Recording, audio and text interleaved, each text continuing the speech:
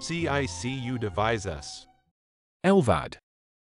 HeartMate extrinsic outflow graft obstruction. Extrinsic outflow graft obstruction is triggered by the accumulation of acellular biodebris located between the HeartMate outflow graft and the outflow graft bend relief, or another component such as Gore-Tex or polytetrafluoroethylene conduit or wrap added by the surgeon during implantation. The accumulation of biodebris occurs gradually over an extended period of support, typically exceeding two years, and exhibits similar clinical effects in both HeartMate 3 and HeartMate 2. The Kaplan-Meier estimate for the incidence rate of extrinsic obstruction post-implantation is 0.24% at 2 years and 2.06% at 5 years. During the time of support, a gelatinous protein matrix is situated between the two layers of fabric. This image demonstrates a hematoxylin and eosin stain revealing acellular fibrinous material. This is an animation to illustrate how this process unfolds over time. At the time of implantation, the space between the outflow graft and bend relief is not occupied. However, over time, this space becomes filled with acellular biodebris.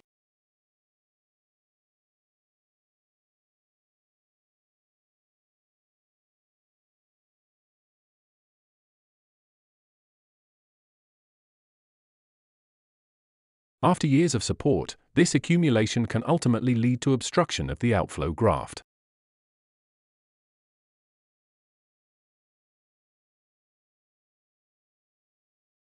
Significant clinical manifestations of extrinsic obstruction may include constriction of the outflow graft leading to persistent low flow alarms or low flow.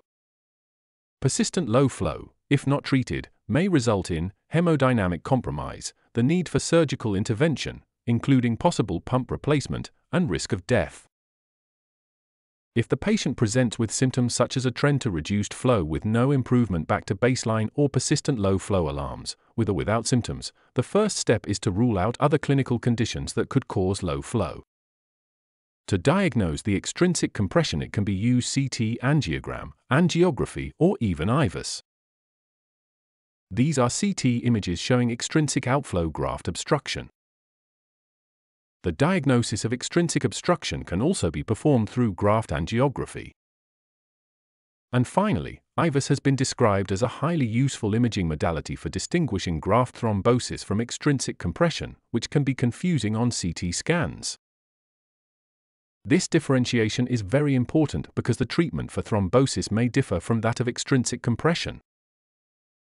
The management options for this complication are Watchful waiting strategy that can be chosen in case of an incidental finding without flow issues. Percutaneous intervention with stenting of the outflow graft. Surgical removal of the proteinaceous material, which can be performed through thoracotomy. And finally, in certain cases, pump replacement or heart transplantation may be necessary.